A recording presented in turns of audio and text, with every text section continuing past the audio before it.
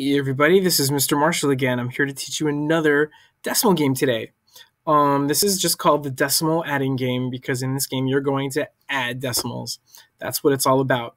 So here's what we're going to do. Um, I'm going to remind you that in the beginning you have to make a copy. So I'm going to walk you through the steps of that because you may have forgotten.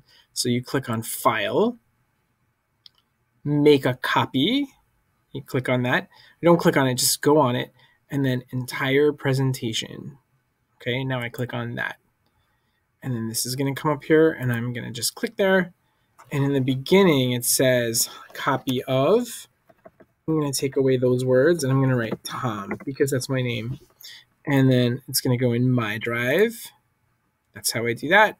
Your teacher may have a special folder that, that they want you to put this in, and then that's how you make a copy.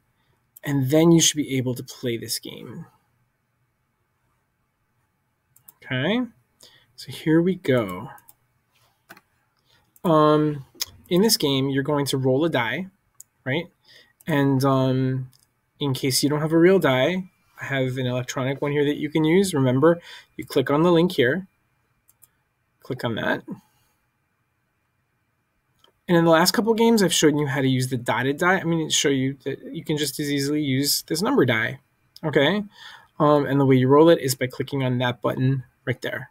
Okay, so let's go back to the game board. In this game, you roll the die and you just put the numbers in anywhere in one of these eight boxes. Okay, these are the eight that we're working on.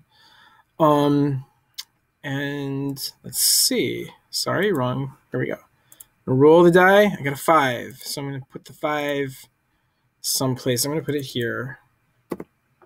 Okay. Now I go again, and I roll again. I got a two. Put the two here. Pretty simple, right? I keep rolling. I got a one. I put the one here.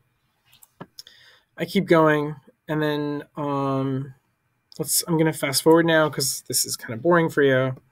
So I'm gonna put in all the numbers that I am pretending that I got. okay. Um, here we go. And now the rest of this is just adding, right? So I'm going to add, some people start, um, they add these numbers in different ways. I'm going to show you kind of the way most people do it. Two and three is five, right? Three and one is four. Five and six is 11. So I'm going to put down a one here.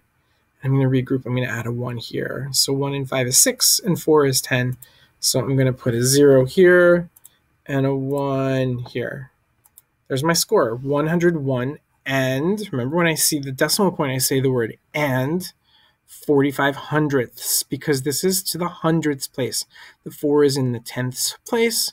The five is in the hundredths place. And then what I'm going to do is I'm going to, in this box here, I'm going to write that out in words. So I have 101 and 45 hundredths. Okay, write it in there, and then I'm done. I can make another copy and play again. You can also play this with a partner or several partners and see who gets the biggest number. Like that's another way that you can play this game. All right. Um, why don't you try it out? Practice adding your uh, your decimals, and I will see you next time.